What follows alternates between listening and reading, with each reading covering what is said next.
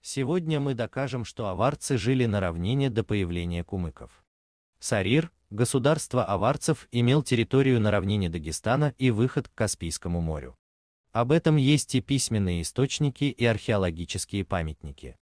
Например, Хамдалах Мустафи Айл-Казвини в книге Нусхат Ал-Кулуб от 1340 года пишет, что правитель Сарира устроил рыбалку для своего гостя, Салама Тарджумана.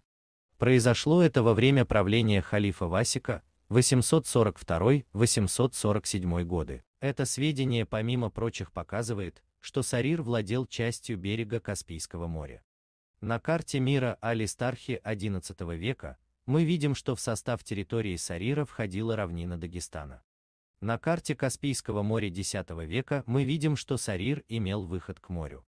Также на равнине есть село Гельбах, бывшая северная столица Сарира. Гельбах имеет аварский этноним, Гелмерка и Бах-взимание. Следует обратить и на аварские слова Ралят, море и Карачел волна. Это слова исконно аварские.